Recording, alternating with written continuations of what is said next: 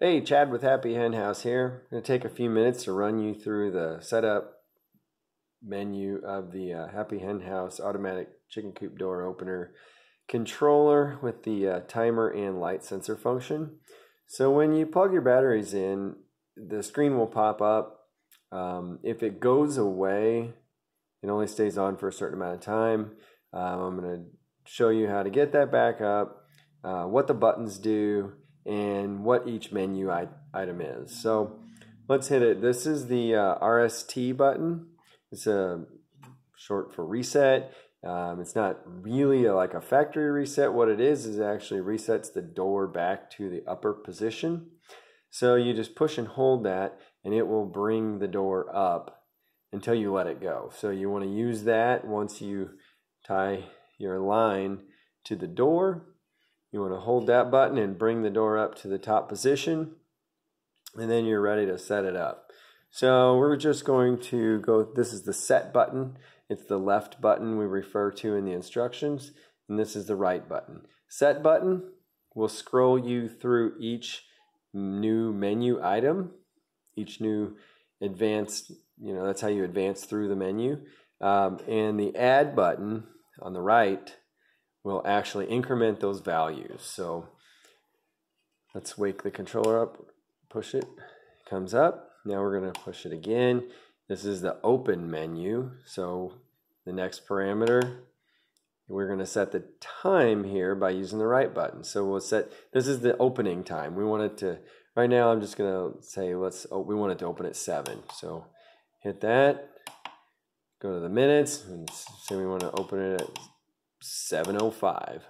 Let's Keep going. Open lumens. This is the value of the lumens. If you are using the light sensor mode, you're going to set the value of the lumens here. 16 is what we set from the factory. That's okay. We're just going to leave it. Close. This is the close menu. Uh, a lot of people think that's CL05, but it's actually CLOS. So this is where we set the closing. 1900 equals 7 o'clock. I'm going to leave it there. And then the closed lumens is 15. We can change that, however, we it always needs to be lower than the open lumens, which was on the OL menu. Control, it's at zero. Zero is timer and timer, timer open, timer close. One is timer open, light close. Two is light open, timer close. And three is light open, light close. So we want to set it on three for now because it's easiest to test it that way. We can um, use a light, uh, you know, block the light sensor and we can watch the door go up and down, which is what we want to do to make sure everything's going well. Wake that thing back up.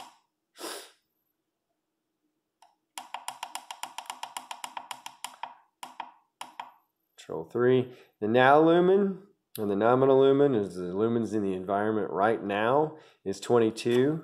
Um, if you see, when you're at this, you can cover it up and you'll see it goes away. Zero.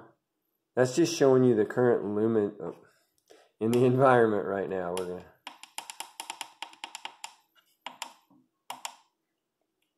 All right. So we kind of cover it up.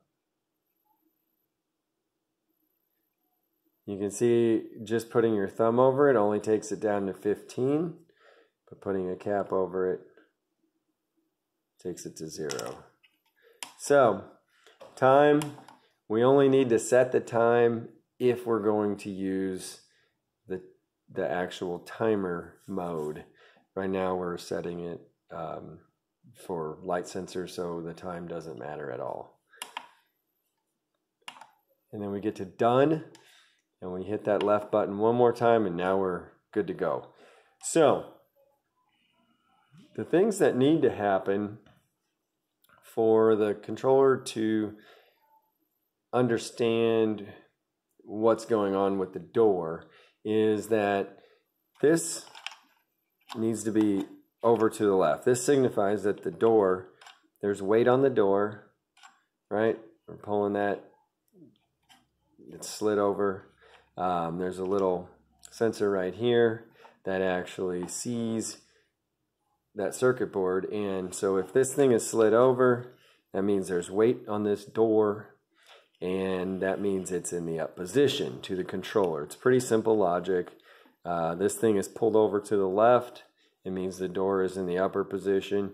It's to the right. That means the door went down and it's resting on something. So if it, if it rests on top of a chicken, it just stops turning um, until the chicken gets out of the way. The doors are very light, so it doesn't hurt anything. Um, but when the, there's weight on the door, you'll see it pulled like that. So to test these, all I ever do is push that over, sorry, push that over with my thumb, cover the light sensor, and you'll see it will start to move after five seconds. It's letting the line out. And it will continue to let the line out until I let that up. So that means your door hit the bottom. It's good to go. Now, we'll pull that off. And you'll see, after five seconds, it's going to pull it back up. And it will stop where it started from. And that's it. Easy as pie. So, if you have any questions, you can always feel free to reach out to us. We're available at henhousehelp at gmail.com. And uh, we'd love to hear your comments or questions or if you have any feedback. So um, that's about it. It's pretty easy. Um,